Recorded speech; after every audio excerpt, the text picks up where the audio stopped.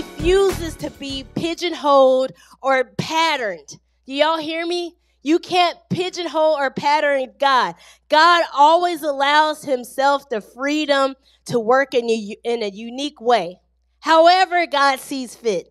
And it's wrong for us to try to find uh, different formulas for God. I think this is what these people are doing. God, do it like you always do it. We know that you did this before. Do it again.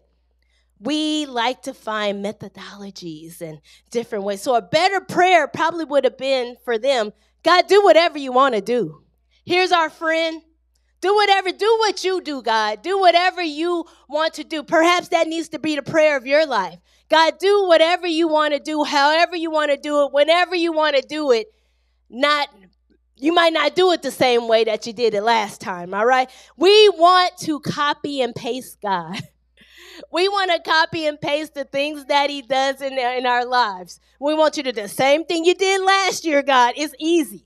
Just do that one thing again. Wouldn't that be great if God operated like that? Like, you know the drill, God. Just do the same thing. But you know, we serve a God who likes to, to switch things up.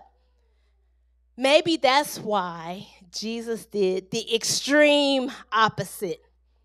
Jesus did the extreme opposite. Check it out. Jesus took this little guy aside, took him away from the crowd. I love this.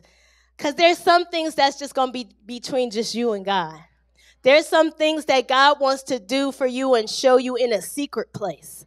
There's some things that God don't want to do in front of a crowd. God just wants to do it one on one with you. Jesus took him and took him away from the crowd. Perhaps this is what this pandemic was all about for some of us to take us away from the crowd, away from the noise, away from the church, and really evaluate your own relationship with God, just one on one. What do you think about when you're all by yourself?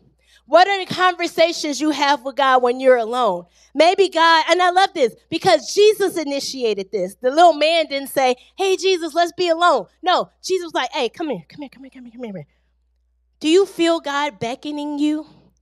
Do you feel God drawing you? Come here, come here, come here, come here. I want to just talk to you, just by yourself. You don't need to call nobody. You, you really, you don't need to put this on social media. You don't need to post about it. I just want, I just want you, you and me.